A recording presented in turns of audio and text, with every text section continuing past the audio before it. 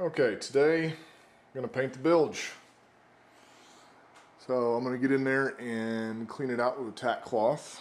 All my stickiness went away.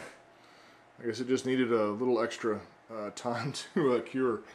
The uh, that also helped too. That's a little Stanley heater for $49 at Lowe's, and uh, it really uh, heats up this garage pretty good.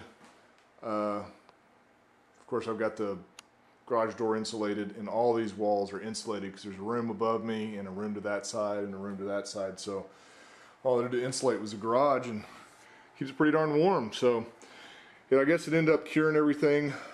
Everything's nice and uh, hard so I just need to wipe out the dust and I'm gonna put one coat of this BilgeKote down there that I if you remember correctly I tinted kind of a sand color to match the uh, cream color of our uh, boat so it doesn't look so stark white so anyway, here I go.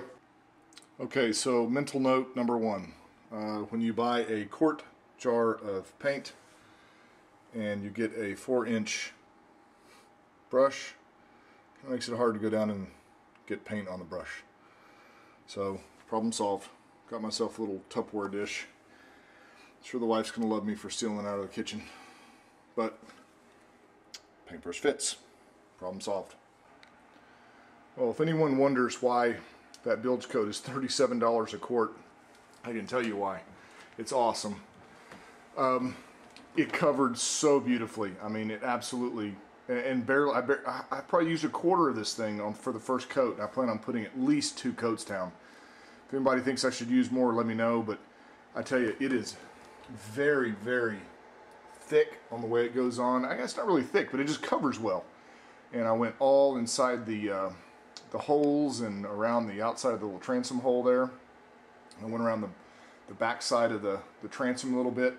That's kind of created a, a basic line here because this is where I'm going to paint the Rust-Oleum all the way up the sides, all the way back, and then behind the transom. I didn't want to use the expensive stuff on that since it's not exposed to the grease and stuff like that the engine's going to be putting out. And supposedly the BilgeKote is all about that. So, But anyway, that's done and first coat's done and it really was easy to deal with. The stuff is super simple to work with just like any other paint, but just it's a high quality paint.